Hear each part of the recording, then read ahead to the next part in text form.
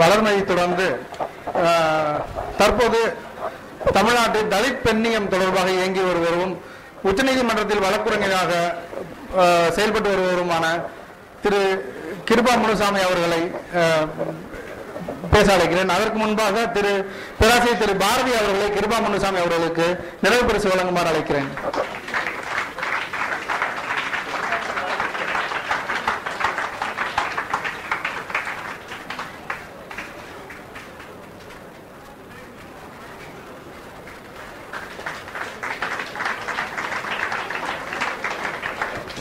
இப்பொழுது திரு கிருபா முனுசாமி அவர்கள் ஊடகங்கள் வரையும் பெண் உருவங்கள் குறித்து பேசுவார் அனைவருக்கும் வணக்கம். ஊடகங்களும் தமிழ் சிவில் சமூகம் இந்த கருத்தரங்கை ஒருங்கிணைத்திருக்கும் காட்சி தொடர்பியல் துறை லயலா கல்லூரி அவர்களுக்கும் புதிய தமிழ் அமைப்பிற்கும் எனது நன்றிகளை தெரிவித்துக் கொள்கிறேன். ஸோ ஊடகங்கள் வரையும் பெண்ணுருவம் ரொம்ப பொருத்தமான தலைப்புன்னு நினைக்கிறேன்.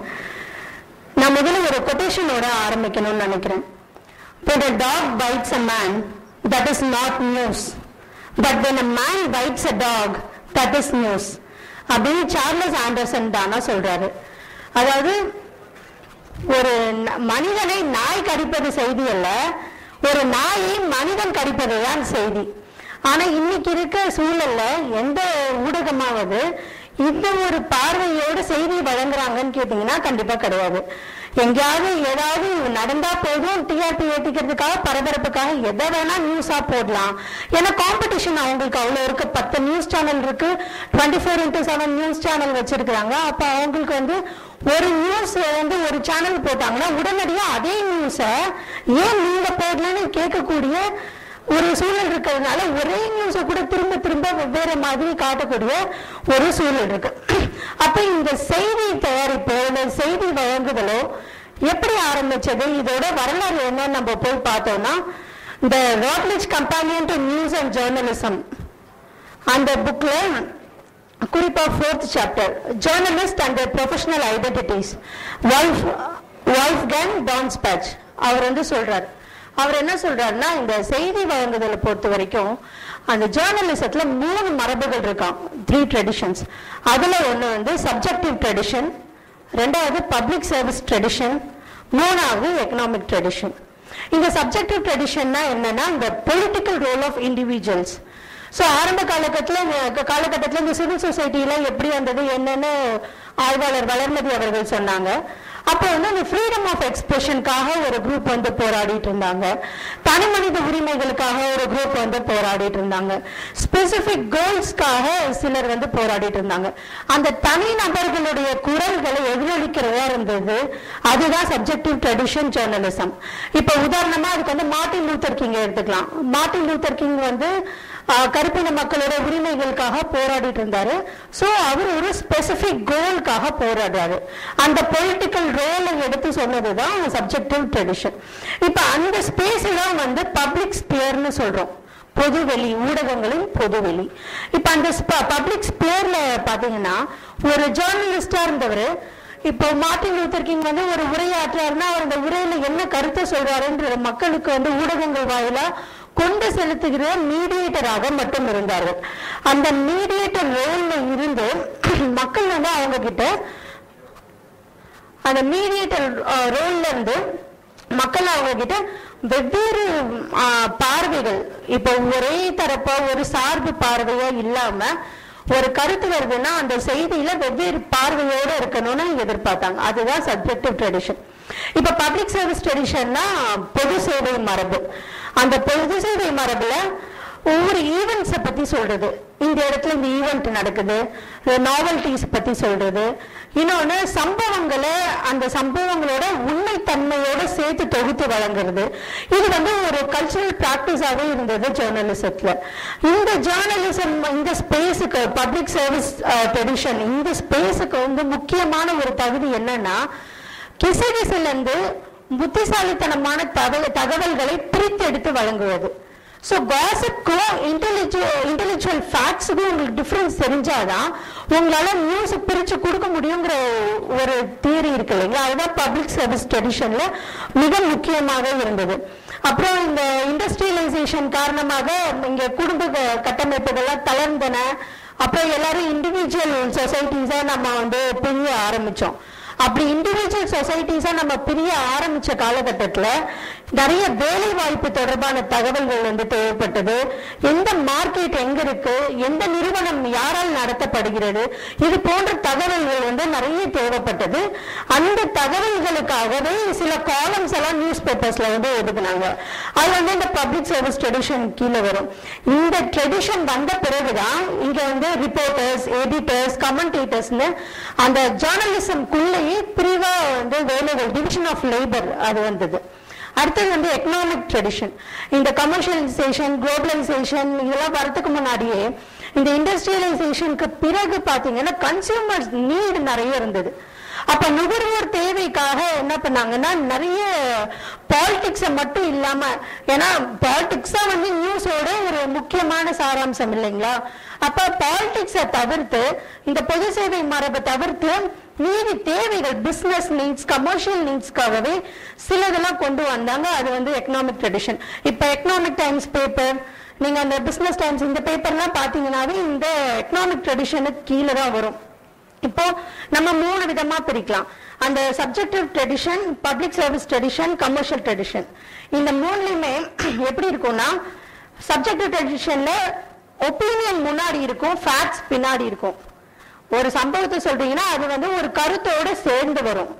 பப்ளிக் சர்வீஸ் ட்ரெடிஷனை பார்த்தீங்கன்னா ஃபேக்ட்ஸ் பிஃபோர் ஒப்பீனியன் அப்போ முதல்ல ஒரு தகவல் வரும். அந்த தகவலை குறித்து ஒரு கருத்து வரும். மூன்றாவது பார்த்தீங்கன்னா கமர்ஷியல் ட்ரெடிஷன் கமர்ஷியல் ட்ரெடிஷனை பொறுத்த வரைக்கும் யாருக்கு என்ன தேவையோ அதை கொடுக்க ஆரம்பிச்சாங்க. இப்போ எல்லோ பேஜஸ் மாதிரி இப்போ நிறைய வீடு வாடகைக்கு விடுறதுனா கூட தனி சின்ன சின்ன மேகசின்ஸா வருது இல்லைங்களா? கிட்டத்தட்ட அந்த மாதிரி. அப்ப இதெல்லாம் நடந்துகிட்டு இருக்கும் போது இந்த பெண்கள் எங்க போனாங்க?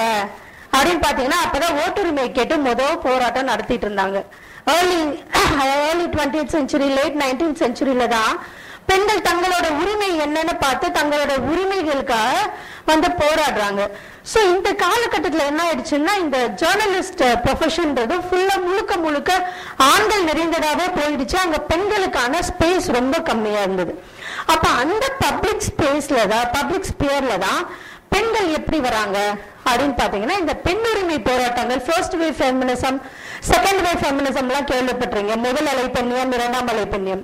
அந்த இரண்டாம் அலை பெண்ணியம் வரைக்குமே அரசியல் உரிமைகள் வந்து பெண்கள் கோரவே இல்லை. அந்த அரசியல் உரிமைகளுக்காக அவங்க கோர ஆரம்பிச்ச காலகட்டத்துல தான் வாசகர்கள் ஒரு பக்கம் பெண் வாசகர்கள் அதிகரிச்சுட்டே போனாங்க. இன்னொரு பக்கம் பாத்தீங்கன்னா ஹோம் மேக்கர்ஸ் வீட்டில் வந்து பாட்ரியார்கி ஆணாதிக்க சமூகத்துல பெண்கள் வந்து ஒடுக்கி வைக்கப்பட்டார்கள் எல்லாத்துக்கும் தெரியும். ஆனா அந்த வீட்டுக்குள்ளேயே நீ இருங்கிறது கூட பாத்தீங்கன்னா ஒரு கௌரவ பதவி போல ஹவுஸ் ஒய்ஃப்ன்றத கூட ஹவுஸ் மே ஹோம் மேக்கர் அப்படின்னு ரொம்ப கௌரவமா வச்சு அவங்களுக்காகவே சில காலம்ஸ் எல்லாம் கொண்டு வர வேண்டிய தேவை ஏற்பட்டது. இருபதாம் நூற்றாண்டுல. அப்பதான் இந்த ஃபேஷன் லைஃப் ஸ்டைல் தொடர்பானது அப்புறம் சமையல் குறிப்புகள் இப்ப இன்னமுமே பாத்தீங்கன்னா பெண்கள் தினம்னா எல்லா டிவி சேனல்ஸ்லேயும் ஒன்று தான் இருக்கும். ஒன்று சமையல் குறிப்பு இருக்கும் அழகு குறிப்பு இருக்கும் இல்லாட்டினா ஏதாவது கடைக்கடியாக ஃபேஷன் டெக்னாலஜின்னு காட்டிட்டு இருப்பாங்க. இவ்வளோதான் இருக்கும். வேற எதுவும் இருக்காது இல்லைங்களா? ஸோ விமன் ரீடர்ஸை அட்ராக்ட் பண்ணுறதுக்காக இந்த மாதிரியான ஸ்பேசஸ் தான் அவங்க கொண்டு வந்தாங்க. அந்த ஸ்பேசஸ் தான் கல்ச்சுரல் ஸ்பேசஸ் நம்ம சொல்றோம். அப்ப இந்த ஜேர்னலிசம் இந்த நியூஸ் நியூஸ் மீடியாங்கிறத வந்து நீங்க ரெண்டா பிரிக்கலாம். ஒன்னு பொலிட்டிக்கல் ஸ்பியர் இன்னொன்னு கல்ச்சுரல் ஸ்பியர் இந்த பொலிட்டிக்கல் ஸ்பேருங்கிறது முழுக்க முழுக்க ஆண்களுக்கானதாகவும் கல்ச்சுரல் ஸ்பேருன்றது முழுக்க முழுக்க பெண்களுக்கானதாகவும் இருந்தது. அதுக்கு உதாரணமாக தான் இப்ப நீங்க மெயின் நியூஸ் அதுக்கப்புறம் பிஸ்னஸ் ஸ்போர்ட்ஸ் எல்லாம் பாத்தீங்கன்னா ஆங்கர் பண்றவங்க கூட பெரும்பாலும் ஆண்களாக தான் இருப்பாங்க. அதே மாதிரி கல்ச்சுரல் நியூஸ்ன்னு சொல்லக்கூடிய ஏதாவது லிட்ரேச்சரோ இல்லை மற்ற பரதநாட்டியம் இல்லை அந்த மாதிரி ஏதாவது ஆர்ட்ஸ் ஆர்ட் ஃபார்ம்ல இருக்கிறது பார்த்தீங்கன்னா பெண்கள் வந்து ஆங்கர்ஸாக இருப்பாங்க. ஸோ அதுலேயே தரம் பிரித்து மீடியா ரிப்போர்ட்டிங் நியூஸ் ப்ரொடக்ஷன்லேயே லோ ஸ்டேட்டஸாக கருதப்பட்டது வந்து பெண் பத்திரிகையாளர்களுக்கும் ஹை ப்ரொஃபைலாக கருதப்பட்ட ஸ்போர்ட்ஸ் பிஸ்னஸ் எல்லாம் ஆண்களுக்கும் என்று பிரிக்கப்பட்டது. அப்ப அந்த கல்ச்சுரல் ஸ்பேஸ்லயும் அவங்க யாரை ரெப்ரசென்ட் பண்றாங்க என்ன ரெப்ரசென்ட் பண்றாங்கன்னு பாத்தீங்கன்னா பெரும்பாலும் மேட்டுக்குடி சமூகத்தை மட்டுமே ஒட்டுமொத்த பெண்களுக்கான கல்ச்சரா இந்த கல்ச்சுரல் ஸ்பேஸ்ல இந்த ஊடகங்கள்லாம் கொண்டு வந்தாங்க. அப்ப இந்த பெண்கள்ல வந்து என்னென்ன மாதிரி கல்ச்சுரல் ஸ்பேஸ் இருக்கும் மீடியால அப்படின்னா ஒரு சப்ளிமெண்ட்ரி இருக்கும். மெயின் நியூஸ் ஒன்று வரும். கூட சப்ளிமெண்ட்ரி வரும். இப்ப வாரமலர் பார்ப்போம் இல்லைன்னா ஒரு சப் கேட்டகரி வரும். ஒரு துணை தலைப்பு போட்டு இன்னைக்கு இந்த இடத்துல இந்த கல்ச்சுரல் நடக்குது. இல்லை இந்த ஃபேஷன் விஷயம் இன்னைக்கு அப்டேட்ல இருக்கு. இந்த மாதிரி ஒவ்வொன்றா போட்டுட்டு இருப்பாங்க. ஸோ இந்த ரெண்டு ஸ்பேஸ்லையுமே பெரும்பாலும் இந்த கல்ச்சுரல் ஸ்பேஸ்ல பெண்கள் வந்து ஒரு பொருளா மட்டுமே பாவிச்சு அவர்களுக்கான விற்பனை தேவைகள் என்னென்ன இருக்கோ அவர்கள் வந்து கன்சூமர்ஸா இருப்பாங்க இல்லைன்னா ஆப்ஜெக்டிஃபை பண்ணுவாங்க. ஒரு ஹீரோயின் ரொம்ப கிளாமரா இருக்க ஒரு போஸ்டர் மட்டும் நடுவுல போட்டு இது பெண்களுக்கான பக்கம்ன்ற மாதிரி ஒதுக்கி தள்ளுற ஒரு போக்கம் அங்க இருந்தது. இப்போ இந்த மாதிரி போயிட்டு இருக்க காலகட்டத்துல தான் ஒன்னு ரெண்டு பத்திரிகையாளர்கள் வந்து ஒரு சில பெண்களை பத்தி குறிப்பிட்டு எழுதுறாங்க. அந்த ஒரு சில பெண்களை பத்தி குறிப்பிட்டு எழுதுறது பாத்தீங்கன்னா அவங்க நடன மேதையா இருப்பாங்க. இல்லைன்னா ஒரு கர்நாடக இசையில பெரிய மேதையா இருப்பாங்க. அப்ப அவங்க மட்டும்தான் இந்த சமூகத்துல பெண்களான்னு பாத்தீங்கன்னா கண்டிப்பா கிடையாது. அப்ப கீழ்நிலையில மிகவும் கஷ்டப்பட்டுக்கிட்டு இருக்க பெண்களை குறித்து இதுவரைக்கும் இந்த ஊடகங்கள் எந்த ஒரு செய்தியுமே அக்கறையோடு வெளியிட்டதே கிடையாது. அதுல குறிப்பா நீங்க வந்து இந்த Brahmin women elite dominant caste women எடுத்துக்கிட்டீங்கன்னா கூட அவங்களோட பிரச்சனையுமே இந்த ஊடகங்கள் பேசல. அவங்களோட பரதநாட்டிய கலையை பத்தி பேசுறாங்க கர்நாடக இசையை பத்தி பேசுறாங்க. ஆனா அவர்களோட பிரச்சனையை பேசல. இப்ப குறிப்பா நீங்க பிராமின் அண்ட் விமன் எல்லாம் பாத்தீங்கன்னா இந்த சத்தி பிரச்சனை இருந்தது இல்லைங்களா? கணவன் இறந்துட்டாருன்னா புடிச்சு தள்ளி விடுறது. இதெல்லாம் அவங்களுக்கு தான் நிறைய இருந்தது. இன்னைக்கு அந்த பெண்களோட பிரச்சனை கூட இந்த ஊடகங்கள் பேசுறது கிடையாது. இல்ல கீழ்நிலையில வந்து ஒரு சமூகம் இருக்கு. அவங்க கிட்ட ஒரு நல்ல பழக்கம் இருக்குன்னா அதையும் இந்த ஊடகங்கள் பேசுறது இல்ல. குறிப்பா குறவர் சமூகத்தை பத்தி நம்ம பேசணும். ஏன்னா குறவர் சமூகம் வந்து நம்ம விதவை மறுமணம் விடோ ரீமேரேஜ்க்காக நம்ம எவ்வளவோ போராடிட்டு இருக்க சமயத்துல குறவர் சமூகத்துல பாத்தீங்கன்னா ஒரு கல்ச்சர் இருக்கு. அங்க யாருமே தனியா இருக்க மாட்டாங்களாம். ஒருத்தர் இறந்துட்டாருன்னா ஹஸ்பண்ட் இறந்துட்டாருன்னா அடுத்து ஒரு இருபது நாளைக்குள்ள பணம் கொடுத்து கல்யாணம் பண்ணிப்பாங்க. சோ டவுரி பிரச்சனையும் அங்க கிடையாது. விடோ ரீமேரேஜுக்கும் நீங்க வந்து போராட வேண்டியது கிடையாது. இயல்பாகவே அவங்களுக்குள்ளேயே இந்த மாதிரி ரொம்ப முற்போக்கான விஷயங்கள் வழி வழியா வருது. இதையெல்லாம் ஏதாவது ஊடகங்கள் வந்து ரொம்ப மையப்படுத்தி பேசுறாங்கன்னா அவங்க பேசுறது இல்லை அடுத்து இந்த ஆப்ஜெக்டிபிகேஷன் நம்ம வரும்போது ஒரு பக்கம் பெண்களை போக பொருளா பார்த்து அவர்களுக்கான இந்த காஸ்மெட்டிக்ஸ் ஃபேஷன் இதெல்லாம் இருக்கிறது பெண்களை வெறும் கிளாமர் கொஷன்ட்டா மட்டும் காட்டுறதெல்லாம் ஒரு பக்கம் இருக்குன்னா இன்னொரு பக்கம் பெண்களோட உடையை குறித்து மிகவும் கீழ்த்தரமான விமர்சனங்களை முன்வைப்பது. இது இப்ப குமுதம்ல வந்து லெகிங்ஸ் பத்தி ஒரு ஆர்டிக்கல் வந்தது. நீங்க எல்லாரும் பார்த்திருப்பீங்க. லெகிங்ஸ் வந்து ரொம்ப ஆபாசமான ஒரு எல்லை மீறுகிறார்களா இலசுகள் அப்படின்ற ஒரு தலைப்புல. நம்ம இந்த மாதிரிலாம் ஒரு ஆர்டிக்கல் எழுதும் போது அந்த ஜேர்னலிஸ்ட் வந்து மனசுல சில வரலாற்று குறிப்புகளை வச்சுட்டு எழுதணும்னு நான் நினைக்கிறேன். ஏன்னா ஆயிரத்தி எட்நூத்தி அறுபது வரைக்குமே தமிழ்நாட்டிலேயும் கேரளாலையும் பெண்கள் மேலாடை அணிய முடியாது. மார்புக்கு வரி போட்ட சமூகம் இது. இல்லைங்களா? கேரளால நீங்க பாத்திருப்பீங்க இன்னுமே எல்லா திரைப்படங்களும் பாத்தீங்கன்னா கேரள பெண்கள் வந்து வெறும் மேலே மேலாடையோட இருக்கிறது வந்து ஒரு கிளாமரா காட்டி கிண்டல் பண்றாங்க. ஆனா அதுக்கு பின்னாடி மிகப்பெரிய வரலாறு இருந்திருக்கு. அப்ப பெண்கள் வந்து மேலாடை போட முடியாம மார்புக்கு வரி போட்டு கடைசியில ஒரு பெரிய பெண் போராளி வந்து அவங்க மார்பை அறுத்து என்னால வரி கொடுக்க முடியாது. என் மார்பை வச்சுக்கோன்னு அறுத்து ரத்தத்தோட கொடுத்துருக்காங்க அன்னைக்குதான் அந்த மார்புக்கு வரி போடுற அந்த ஒரு கலாச்சாரமே இங்க நின்னது. அப்ப நீங்க உடை அணிய மறுக்கப்பட்ட ஒரு கலாச்சாரம் ஆண்களுக்கும் இதேதான். தலித் ஆண்கள் வந்து சட்டை போட முடியாது தோல் துண்டு போட முடியாது செருப்பு போட்டு ரோட்ல நடக்க முடியாது. அவர் வளர்மதி சொன்ன மாதிரி ரோட்ல நடந்து போனாங்கன்னா அதுக்கு பதினஞ்சு ரூபாய் அவராது அன்னைக்கு பதினஞ்சு ரூபாய்னா என்ன பண்ணணும் நம்ம நினைச்சு பார்க்கணும் இல்லைங்களா? சோ இந்த மாதிரி நீங்க ஒரு சமூகத்துல பெண் உடை சுதந்திரங்கிறத பத்தி பேசாம பெண்ணோட உடையை இவ்வளவு கேவலமா சித்தரிக்கிறதுன்றது வந்து ரொம்ப கண்டிக்கத்தக்கதா இருக்குது. ஏன்னா இதுல இன்னொரு விஷயமும் பார்க்கணும். எப்பயுமே ஒரு பெண் வந்து வன்புணர்வுக்கு ஆளாகிறா? இல்ல ஒரு செக்ஷுவல் அபியூஸ் வயலன்ஸ்க்கு ஆளாகிறாங்கன்னா உடனடியா அங்க குற்றம் சாட்டப்பட படு- படக்கூடியதுன்னா அந்த பெண்ணோட உடையும் அவள் வந்த நேரமும் தான். இப்போ நீங்க நிர்பயா கேஸே எடுத்துக்கிட்டீங்கன்னா டெல்லியில எல்லாரும் கேட்ட ஃபர்ஸ்ட் கொஸ்டின் அந்த பொண்ணு ஏன் இந்நேரத்துக்கு வெளியே வந்தா? நைட்டு பத்து மணிக்கு அந்த பொண்ணுக்கு என்ன வேலை? இதுதான் கேட்டாங்களே தவிர அந்த இடத்துல ஆண்கள் பத்து மணிக்கு ஒரு பொண்ணு ஏதோ ஒரு வேலை காரணமா வரானா ஆண்கள் எந்த சமூக பொறுப்போட நடந்துக்கணும்? ஆண்களுக்கு என்ன பொறுப்பு இருக்கு இந்த சமூகத்துலங்கிறது வந்து எந்த ஊடகமும் பேசல. அதே மாதிரி இந்த வன்புணர்வு வழக்குகள் எடுத்துக்கிட்டீங்கன்னா ஒரு நாளைக்கு அதாவது நேஷனல் கிரைம் ரெக்கார்ட்ஸ் பியூரோ என்ன சொல்றாங்கன்னா ஒவ்வொரு இரண்டு மணி நேரத்திற்கும் ஒரு தலித் தாக்கப்படுகிறார். ஒவ்வொரு இருபத்தி நான்கு மணி நேரத்திற்கும் மூன்று தலித் பெண்கள் வன்புணர்வு செய்யப்படுகிறார்கள். ஒவ்வொரு இருபத்தி நாலு மணி நேரமும் இரண்டு தலித்துகள் கொல்லப்படுகிறார்கள். இரண்டு தலித்து வீடுகள் எரிக்கப்படுகின்றன. ஒவ்வொரு ஆண்டும் தலித்துகளுக்கு எதிரான குற்றங்கள் பத்திலிருந்து இருபது சதவீதம் அதிகரித்துக் கொண்டே இருக்கிறது. அப்போ ஒரு சமூகத்துல ஒரு பிரச்சனை அதிகரிச்சுக்கிட்டே போகுதுன்னா அதற்கான கரஸ்பாண்டிங் ஸ்பேஸும் அதிகரிக்கணும் இல்லைங்களா? மீடியா ஸ்பேஸும் ஆனா இது ரெண்டுமே பாத்தீங்கன்னா டிஸ்ப்ரப்போர்ஷனேட்டா இருக்கும். பிரச்சனைகள் தலித்துகளுக்கு எதிரான பிரச்சனைகள் ஆண்டுக்கு பத்துல இருந்து இருபது சதவீதம் கூடிக்கிட்டே போகுது. ஒரு நாளைக்கு மூன்று தலித் பெண்கள் வன்புணர்வு செய்யப்படுறாங்க. ஆனா இவர்களை பற்றிய செய்திகள் பாத்தீங்கன்னா ஊடகங்கள்ல வெறும் ஒரு செய்தி ரெண்டு செய்தி மாசத்துக்கு ஒண்ணு இல்ல ஒரு வருஷத்துக்கே ஒண்ணு இல்லைன்னா இல்லவே இருக்காது. இப்ப இந்த இடத்துல வந்து யூகேல ஒரு ஜேர்னலிஸ்டா இருந்தவர் அவர் அந்த வேலையை ரிசைன் பண்ணிட்டு வெளியே வந்த பிறகு சொல்றாரு. ஒரு நாள் லண்டன்ல நைட்டு இருபத்தெட்டு ஆண்கள் வந்து கொல்லப்பட்டிருக்கிறாங்க இளைஞர்கள். அதுல குறிப்பா மூன்று வெள்ளையின் ஆண்கள் ஒயிட் மென் அண்ட் அந்த மீதி இருபத்தி நாலு பேர் வந்து கருப்பின் ஆண்கள் கொல்லப்பட்டிருக்காங்க. அவர் வந்து ரொம்ப அழுகையோட சொல்றாரு. என்ன சொல்றாருன்னா அவர் ஒரு முஸ்லீம். என்ன சொல்றாருன்னா மூன்று வெள்ளையான்கள் இறந்தாங்க. அதுக்காக ஒயிட் உமன் ஒயிட் மென் இறந்ததுக்காக கிட்டத்தட்ட ஐநூறு முறை நாங்க ஒரே நியூஸை வந்து ரிப்போர்ட் பண்ணிருக்கோம். ஆனா அந்த இருபத்தி நாலு பிளாக் மென் இறந்ததை பாத்தீங்கன்னா மொத்தமே ஒரு நூறு முறை தான் போட்டிருப்போம். அப்ப அந்த நூறு முறை நாங்க ரிப்போர்ட் பண்ணதுமே அந்த மூன்று வெள்ளையான்களையும் சேர்த்துதான். அப்ப பாருங்க கிட்டத்தட்ட ஒரு பிளாக் மேனோட இஷ்யூ வந்து ஹண்ட்ரட் டைம்ஸ் ரிப்போர்ட் ஆகுதுன்னா ஒரு ஒயிட் மேனோட இஷ்யூ வந்து ஃபைவ் ஹண்ட்ரட் டைம்ஸ் ரிப்போர்ட் ஆகுது. ஒன் எஸ் டு ஃபைவ்ன்ற ரேஷியோவில் வந்து அவங்க ரிப்போர்ட் பண்ணிட்டு இருக்காங்க இப்போ இதே வந்து நீங்க தமிழ்நாட்டிலயும் எடுத்துக்கலாம்.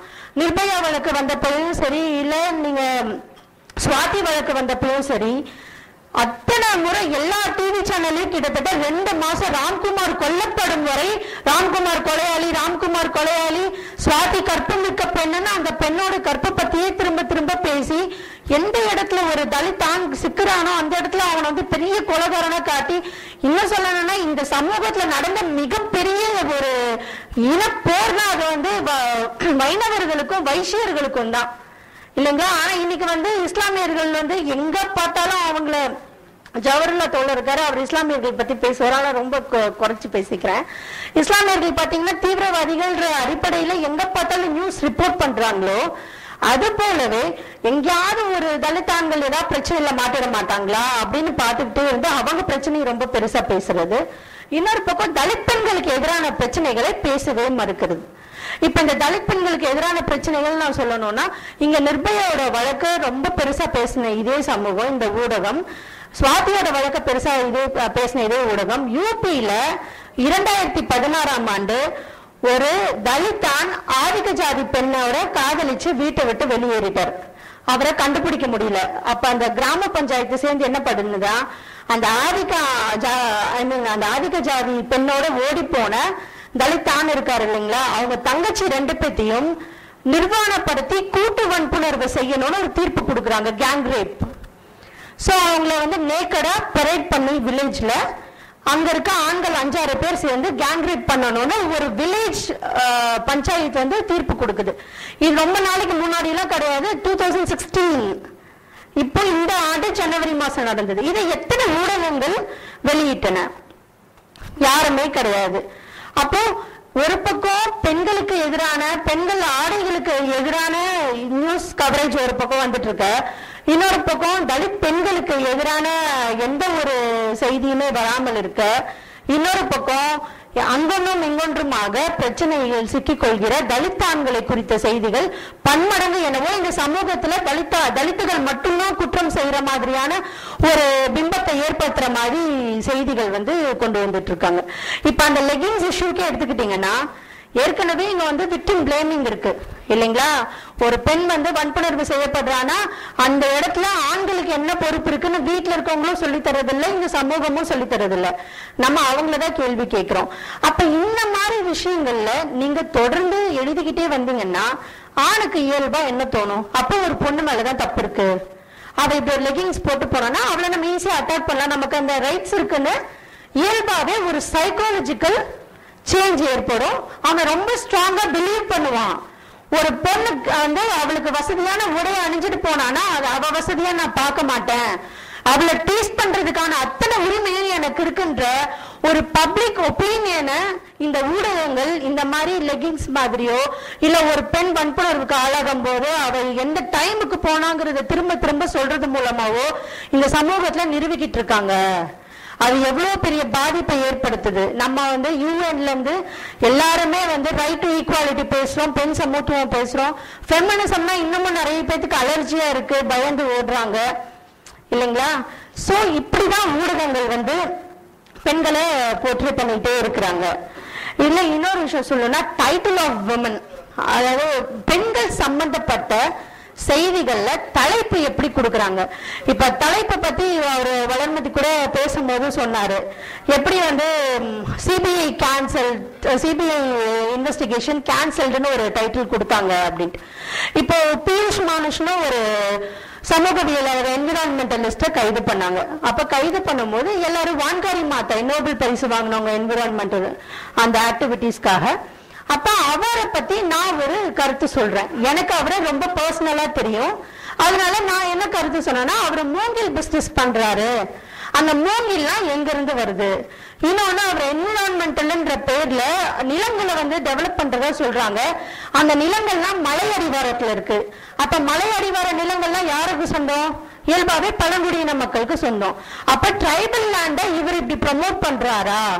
அதோட நான் இன்னொன்னு போட்டிருந்தேன். தங்கிட்ட வேலைக்கு வர ஆண்கள்கிட்ட பெண்கள்கிட்ட வந்து அவரு அப்ரோச் பண்ணாரு. அதுல நானும் பாதிக்கப்பட்டிருக்கேன்ட்டு. அதுக்கு ஒரு செய்தி இந்த ஒரு ஊடகம் வந்து தலைப்பு போடுறாங்க. அதுல என்ன போடுறாங்கன்னா பீஷ் மானுஷ் மீது பெண் வழக்கறிஞர் பாலியல் குற்றச்சாட்டு. அங்க நான் ஆயிரம் விஷயம் சொல்லியிருக்கேன். அவருக்கு எங்கிருந்து பணம் வருது அவருக்கு எங்கெந்து மூங்கில் வருது வான்காரி மாத்த அளவுக்கு கொண்டாடுறதுக்கு அவர் தகுதியானவரா? இன்னொன்னு அரசு கைது பண்ணிருக்கிறதுக்கு பின்னணியில என்னென்ன காரணங்கள் இருக்கு? அதை பத்தி எதுவுமே எழுதாம வெறுமனே கைதை மட்டும் கண்டிச்சு நம்ம இப்படி பேசுறது. சரியா? அப்ப பெண்கள் சம்பந்தப்பட்ட விஷயங்களை கூட தலைப்பு மிகவும் பெண்களை கேவலப்படுத்துவது போன்றுதான் இந்த ஊடகங்கள் வந்து வைக்கிறாங்க. இப்போ நீதிமன்ற தீர்ப்புகள் பத்தியும் ஒரு வளர்மதி சொன்னாரு. இப்போ ஆயிரத்தி தொள்ளாயிரத்தி இருபதுகள்ல வந்து ஒரு பிராமின் ரோட்ல வந்து நடந்து போனதுக்காக பதினஞ்சு ரூபாய் அபராதம் போட்டோம்னா அவர் ஐயர் அப்படி பண்ணிருக்க மாட்டாருன்ட்டு. நான் உங்களுக்கு சொல்லணும்னு நினைக்கிறேன். இங்க நிறைய தலித்துகளுக்கு எதிரான வழக்குகள் நீதிமன்றங்கள்ல குற்றவாளிகள் விடுதலை செய்யப்பட்டிருக்கிறாங்க. சுண்டூர்ல கொத்து கொத்தா தலித்துகளுக்கு வந்து கொலை செய்யப்பட்டாங்க. லக்ஷ்மண்பூர் பாத்தே கீழ்வன்மணியில வந்து நாற்பது தலித்துகள் கொல்லப்பட்டாங்க. கயர்லாஞ்சியில இரண்டு பெண்கள் அம்மாவையும் பெண்ணையும் வன்புணர்வு பண்றாங்க. எதுக்காகனா நிலத்தை கொடுக்க மறுத்ததுக்காக. ஒரு ஆதிக்க ஜாதி ஆண் வந்து நிலம் கேட்கிறாரு அவங்க எங்களால நிலம் கொடுக்க முடியாது இது எங்க நிலம்னு சொல்றாங்க. அம்மாவையும் பொண்ணையும் வன்புணர்வு பண்றாங்க. அந்த வன்புணர்வு வழக்குல நீதிமன்றம் என்ன சொல்லுதுன்னா அந்த இடத்துல ஜாதி காரணமே கிடையாது. வேற ஏதோ ஒரு காரணத்துக்காக தான் வன்புணர்வு நடந்திருக்கு. அது இயல்பான ஒரு குற்றம்ட்டு இன்னொரு இடத்துல நீதிமன்றம் என்ன தீர்ப்பு கொடுக்குதுன்னா ஒரு வன்புணர்வு வழக்குல அவங்க தீண்டப்படாதோர் அன்டச்சபிள் அதனால ஒரு அன்டச்சபிள் பொண்ணை இவன் ரேப் பண்ணிருக்கிறது வாய்ப்பே கிடையாதுன்னு சொல்லி விடுதலை பண்றாங்க. நீதிமன்றங்களை பத்தி பேசணும்னா நமக்கு இன்னொரு கருத்தரங்கம் தேவைப்படும். இன்னொரு கோர்ட் சீனை பத்தி சொன்னாரு. நீங்க எல்லாம் விஷுவல் கம்யூனிகேஷன் ஸ்டூடெண்ட்ஸ்ன்றதுனால நான் உங்களுக்கு மிசிசிபி பர்னிங்ன்ற ஒரு படத்தை சஜஸ்ட் பண்றேன். ஸோ மிசிசிபி பர்னிங்ன்ற படத்துல பாத்தீங்கன்னா ஒரு பிளாக் ஒயிட் இஷ்யூஸ் எப்படி இருக்கு? பிளாக்ஸை வந்து சதன் அமெரிக்கால எப்படி அப்ரெஸ் பண்றாங்க? அப்ப அவங்களுக்கு எதிராக நீதிமன்றத்துல வழக்கு வரும்போது அந்த நீதிபதி அவங்க வந்து இன்டென்ஷனோட செய்யல. ஏன்னா எந்த குற்றத்துக்கும் இன்டென்ஷன் தேவை இல்லைங்களா ஸோ இன்டென்ஷனோட செய்யல. அவங்கள புறச்சூழல் அதுக்கு ப்ரொவோக் பண்ணிருக்குது. அதனால நான் ரொம்ப லைட் பனிஷ்மெண்ட்டோட அவங்கள விடுதலை பண்றேன். அப்படின்னு சொல்லி தீர்ப்பு கொடுத்துருப்பாரு. ரொம்ப நல்ல படம். நீங்க அதை பாத்தீங்கன்னா உங்களுக்கு சொசைட்டியை பத்தி ஒரு நல்ல பெர்ஸ்பெக்டிவ் கிடைக்கும்னு நினைக்கிறேன். அப்புறம் இன்னொரு டாக்குமெண்ட்ரி இருக்கு கண்ட்ரோல் ரூம் அப்படின்னு சொல்லிட்டு. அந்த டாக்குமெண்ட்ரி இஸ் டைரக்டட் பை ஜெகனே நௌஜன் அதில் மீடியா வந்து எப்படி பயஸ்டா செயல்படுறாங்க? ஒரு நியூஸை எப்படி இப்போ வெவ்வேறு மீடியா வெவ்வேறு மாதிரி காட்டுறாங்கன்றத அந்த படத்துல போட்டிருப்பாங்க. ஸோ நீங்களாம் வருங்கால ஊடகவியலாளர்களாவோ இல்லை வருங்கால மீடியா பர்சன்ஸாவோ இல்லை நீங்கள் டாக்குமெண்ட்ரி ஃபிலிம் மேக்கர்ஸாவோ உருவாகிறதுக்கான அத்தனை வாய்ப்புகளும் இருக்கக்கூடிய சூழல்ல இந்த சமூகமானது ஒரு குறிப்பிட்ட ச- சமூகத்தை பத்தி மட்டும் இல்ல இந்த சமூகத்துல கீழ்நிலையில நிறைய பேர் இருக்கிறாங்க. அவங்கள குறித்தும் எழுத வேண்டியது நம்ம எல்லாத்தோட கடமைன்னு நான் சொல்லி விடைபெறுகிறேன். மிக்க நன்றி.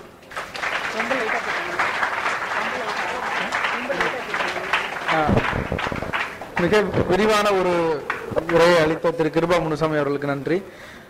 கிருபா முனுசாமி அவர்கள் பேசிய கருத்துக்கள் தொடர்பாக ஏதாவது ஒரு கேள்விகள் இருந்தால் அரங்கத்தில் உள்ளவருக்கு எழுப்பலாம்.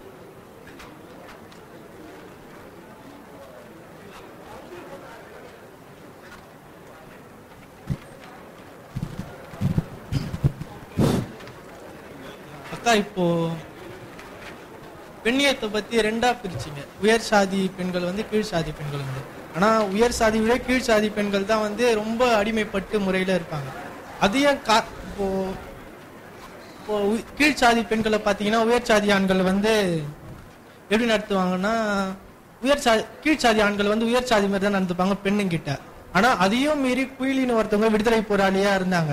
இப்போ வந்து என்ன சொல்றேன்னா அந்த அடிமைத்தனம் வந்து பெண்ணுங்கிட்ட தான் இருக்கு. அவங்க வந்து முன் வர மாட்டாங்க ஒரு ஆண் வந்து பெண்ணை அடிமைப்படுத்த மாட்டான். இப்போ பொன் ஒரு பெண் வந்து போல்னஸா பேசும்பொழுது ஒரு ஆண் பயப்படான் இப்போ விடுதலை போரா போராளி குயிலி பாத்தீங்கன்னா வந்து அவங்க தாழ்ந்த குலத்து பெண் தான். ஆனா வந்து ஒரு ஆண் வந்து அவங்களை தொடவே முடியாது. அவங்க ஒரு மிக சிறந்த போராளி அவங்க.